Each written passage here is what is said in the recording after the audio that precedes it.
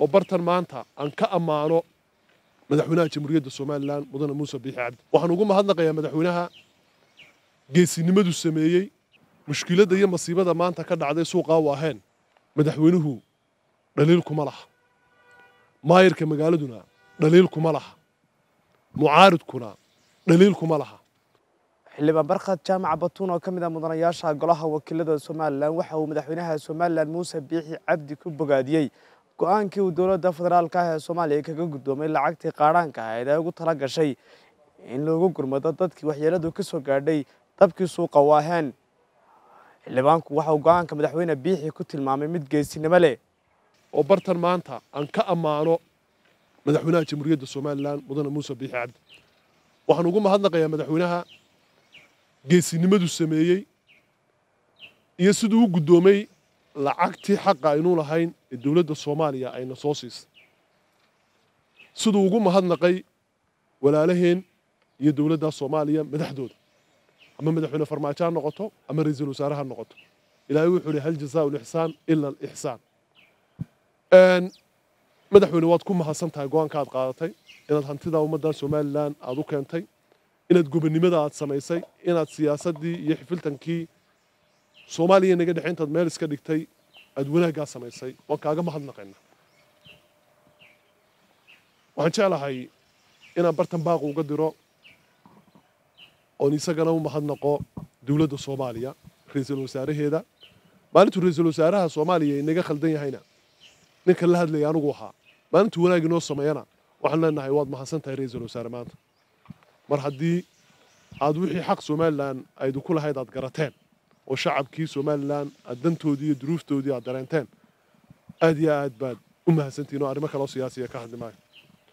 Baaqaygu waxa weeyaan culimmada somalilan culimmada somalilan lafdhabarta bulshada somalilan weeyaan waxay dadka baraan cilmiga waxay joogaan goobihii cibaadada kelmaddooda waa la maqlaya dadaalku wuxuu ku socdaa xukuumadda wuxuu ka socdaa xisbiyada wuxuu ka socdaa saxaafadda saddexdaasaad mooddaa inay aad uga shaqaynayaan suuqii waaheen laakiin waxaynu doonaynaa doorkii culimmada culimmadu cilmiga dadka ay barayaan marka laga yimaado waxaanu jecelnahay inay masaajidada qaadhaan yaboahoo weyn ay ka sameeyaan. Maalinta jimcaha ay nagu soo socotaa waxaan ka codsanayaa culimmada somalilan ee waaweyn iyadoo dadaalka qayb ay ka ahaayeen oo guddida abaaraha sheekh berbera uu ku jiray oo culimmada sheekh dirir iyo sheekh maxamed cali gadli iyo sheekh maxamed aadan iyo culimo fara badan ay ka hadlayeen masaajidka calimataan iyo aad loogaga hadlayey dhibtaa suuqa ka dhacday. Haddana waxaanu doonaynaa qaadhaanka inaad qayb ka noqotaan oo masaajid kastaba lacag weyni ummadda ay uga soo baxdo waxaan codsanaynaa ganacsatada soomaaliyeed ee joogta dibadda iyo dalka. Ganacsatada kenya joogta ganacsatada muqdisho joogta ganacsatada jabuuti joogta ganacsatada etoobiya joogta dowladihiinni dadaal bay sameyneen ganacsatoy waanu idiin baahannahay maanta. Haddaanu shacabkii somalilan nahay gargaar baanu idinka baahannahay. Waxaan idinka baahannahay inaydun nagu garab istaagtaan inaad ummaddeeda waxaad la qabataan suuqaa ku gubtay.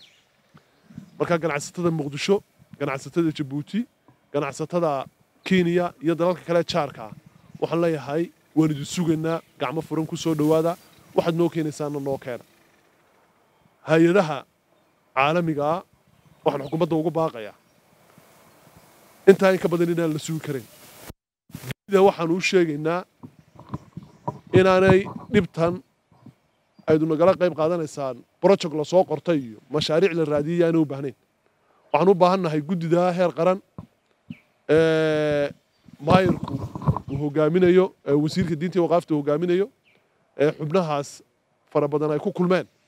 Inaydun dunida iyo hay'adaha caalamigu wixii deeqay hayeen deg deg ay ugu dhibaan intaa in ka badan inay xukuumaddu sugtana ma aha xukuumadda waxaan ugu baaqaynaa inay go'aamo adag dul dhigto hay'adaha deeqbixiyaasha sheegta.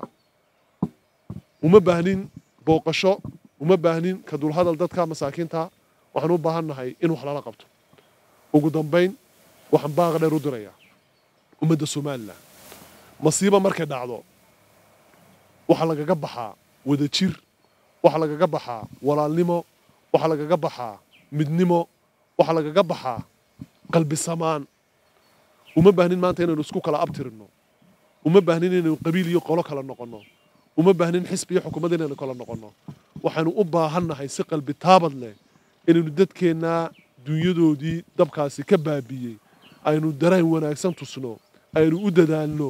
Taasaynu shacaba u baahan shacabow taasaynu u baahanna waa rabadaan ilaahay waxaan ka baryayaa somalilan inuu inoo qurxiyo. Ilaahay waxaan ka baryayaa midnimadeenna inuu wanaajiyo. Wayna damqaysaa runtii in la yidhaahdo iyadoo dhibi ku dhacday. Ayay iyagii kala qaybsan yihiin. Intaasaan hadalkayga ku ururinayaa. Aad iyo aad baad u mahadsan tihiin. Mar labaad iyo mar saddexaadba arrimo siyaasiya kamaan hadlaynin. Baaqaa shacab baan dirayey. Bulshadaydaan la hadlayey. Xukuumaddaan la hadlayey. Cidda waxayna soo tirtay baan u mahadnaqayey dhinaca kale xildhibaan barkha jaamac batuun waxa ugu baaqeen si midnimo leh loogu gurmado islamarkaana wax loogu qabto dadkii ay waxyeeladu ka soo gaadhay masiibadii suuqa waaheen mushkiladda iyo masiibada maanta ka dhacday suuqaa waaheen waa mid cid kastaba muroradilaac iyo murugo ku reebta qof kastoo meeshaa tagaa ilmada inaanu xajisanayn idinkaa soo duubayay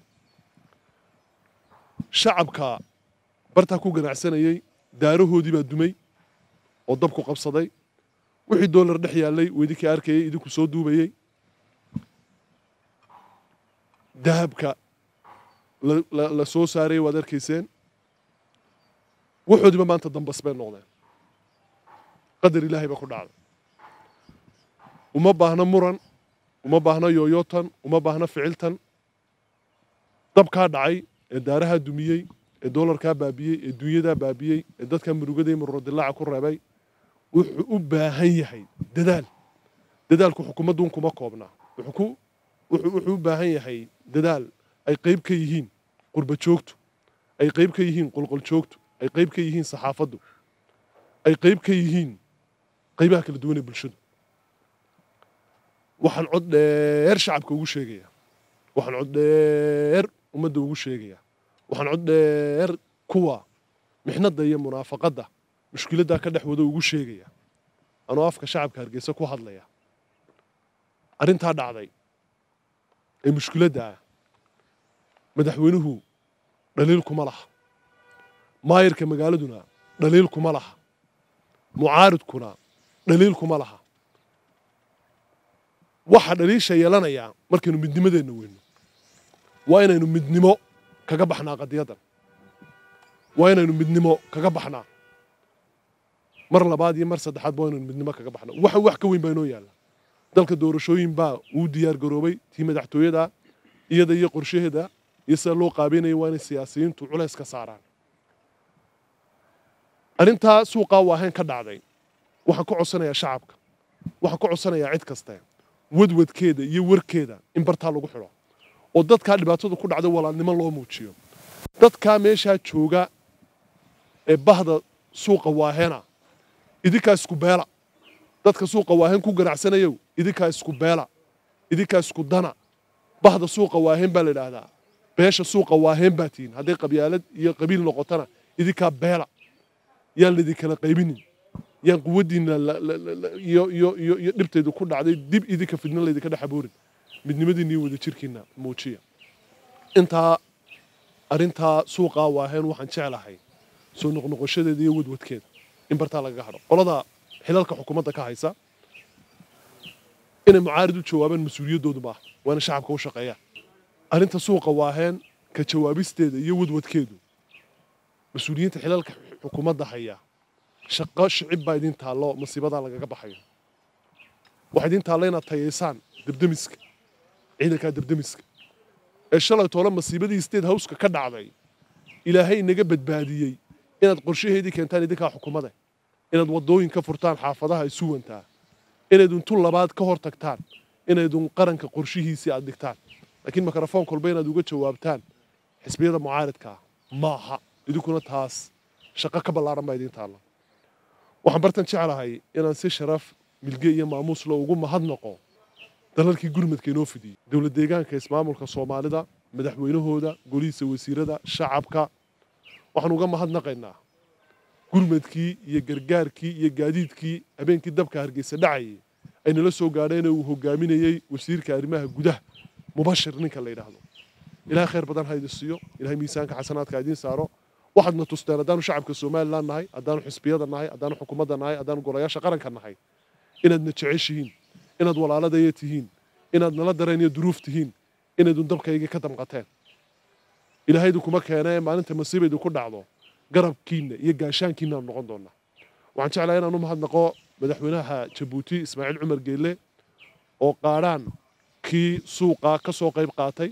Waxaan jeclahay inaan u mahadnaqo ra'iisul wasaaraha etoobiya waxaan jeclahay inaan u mahadnaqo waxaan codsanaynaa ganacsatada soomaaliyeed. ee joogta dibadda iyo dalka. Ganacsatada kenya joogta. Ganacsatada muqdisho joogta. Ganacsatada jabuuti joogta. Ganacsatada etoobiya joogta. Dowladihiinni dadaal bay sameeyeen. Ganacsatoy waanu idiin baahannahay maanta. Haddaanu shacabkii somalilan nahay gargaar baanu idinka baahannahay waxaan idinka baahannahay inaydun nagu garab istaagtaan inaad ummaddeeda waxaad la qabataan suuqaa ku gubtay. Marka ganacsatada muqdisho ganacsatada jabuuti ganacsatada kenya iyo dalalka kale jaarka. Ah waxaan leeyahay waan idin sugaynaa gacmo furan ku soo dhowaada waxaad noo keenaysaana noo keena. Hay'adaha caalamigaa waxaan xukuumadda ugu baaqayaa. Intaa in ka badan inaan la sugi karayn dunida waxaan u sheegaynaa inaanay dhibtan aydu nagala qayb qaadanaysaan broject la soo qortay iyo mashaariic la raadiyay aanay u baahnayn. Waxaan u baahannahay guddida heer qaran maayirku uu hogaaminayo wasiirka diinta waqaafta hogaaminayo ee xubnahaas fara badan ay ku kulmeen inaydun dunida iyo hay'adaha caalamigu wixii deeqay ahayn deg deg ay ugu dhibaan intaa in ka badan inay xukuumaddu sugtana ma aha. Xukuumadda waxaan ugu baaqaynaa inay go'aamo adag dul dhigto hay'adaha deeqbixiyaasha sheegta.